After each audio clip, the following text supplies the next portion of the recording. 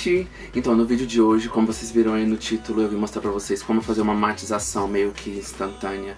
Sabe quando você tá com pressa e não deu tempo de esperar é, fazer a matização completa, passar a máscara, esperar os 20 minutos, 15 minutos, sei lá é, Pra poder você sair, mas você tá com muita pressa e o seu cabelo tá amarelo Mas você quer ele branquinho pra poder sair.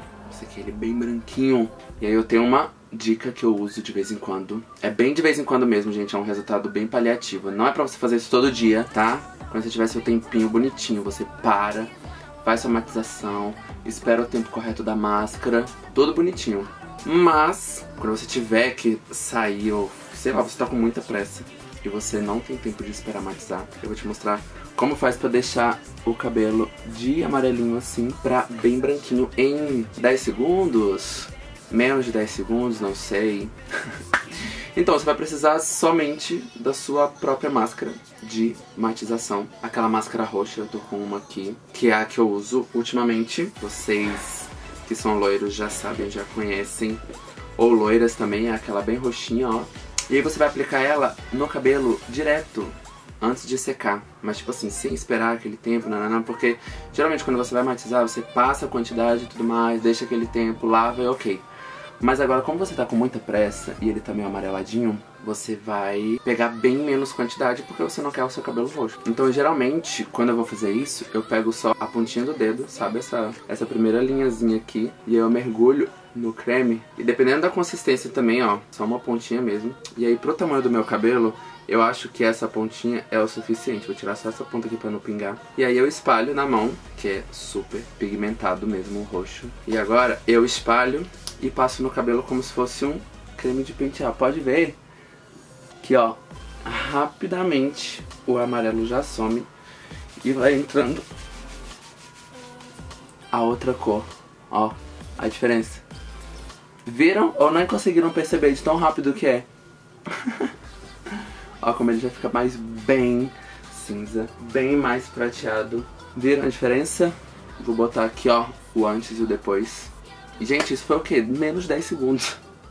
E aí depois disso, que eu matizo assim, na pressa, né? Eu vou só secar meu cabelo e mostrar pra vocês como ele fica depois de secado. Já volto. Tcharam! Tcharam! Olha aqui, gente, o resultado de uma matização instantânea praticamente. Eu só sequei o cabelo e ele tá bem, bem, bem... Eu não sei se no vídeo tá dando pra ver mas ele tá bem prateadinho, tá bem cinzinho. Eu tô olhando aqui no, no espelho e tá tipo da cor que eu gosto. Tirou aquele amarelado, sabe? Então assim, eu só tomei o banho, eu tava com pressa, teoricamente. Tava com pressa, tomei banho. Não podia esperar os 15 minutos, 20 minutos da máscara. Joguei um pouquinho em cima do cabelo molhadinho, sequei. Agora eu vou finalizar com uma pomada. Eu peguei uma que não seja muito mate, pra ver se dá um pouquinho mais de brilhinho e dá uma, um acabamento melhor, mais brilhoso. Ultimamente eu tô usando o cabelo mais... Eu tô olhando aqui no, no espelho que fica mais fácil, porque tô sem óculos, então eu não enxergo muito bem aqui na telinha. Aqui nessa telinha aqui. Ultimamente eu tô usando meu cabelo mais assim. Ele já tá enorme da última vez que eu cortei daquele vídeo lá. Aqui pra frente e esse pra cima, só que não tá ficando.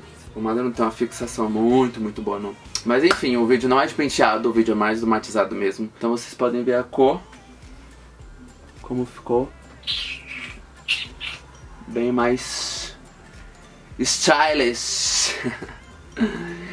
Enfim, gente, é isso. Eu espero muito que vocês tenham gostado dessa dica. Espero que vocês usem, ou se vocês já usavam também. Me fala aí como é que vocês já, faz, já faziam. Bota aí nos comentários.